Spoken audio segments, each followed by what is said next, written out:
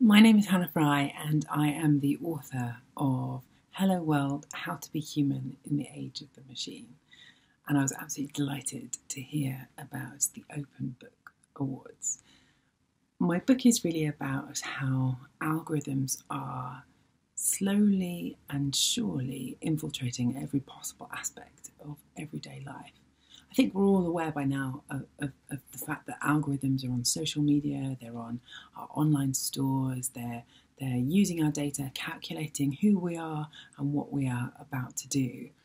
But I think perhaps we're not as aware of just how much these algorithms are used in every possible aspect of our modern lives. These things, they're in our hospitals, they're in our schools, they're in our police stations, they're there slowly and surely calculating what's about to happen next and trying to make mathematical based decisions in every possible aspect of life. And sometimes that can be a really good thing. You know, in the case of, of healthcare, where algorithms are helping to diagnose people with diseases earlier, to ensure that they get the right treatment. Uh, you know, in the criminal justice system, where algorithms are matching people up with rehabilitation programs there are some cases where uh, you know the use of algorithms is a really positive thing, but that's not always quite the case.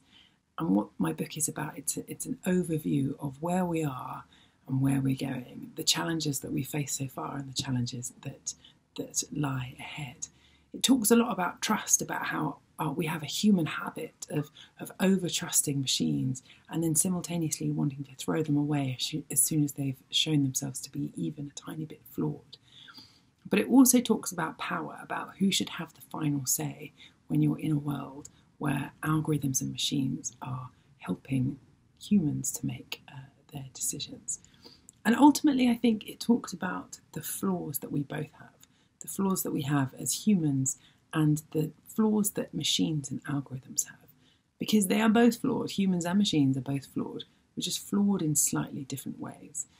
So the big conclusion of the book is is how to create the best possible partnership between flawed humans and flawed machines to give you the best uh, possible outcome.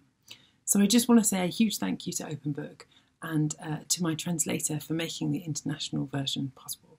Thanks, everyone.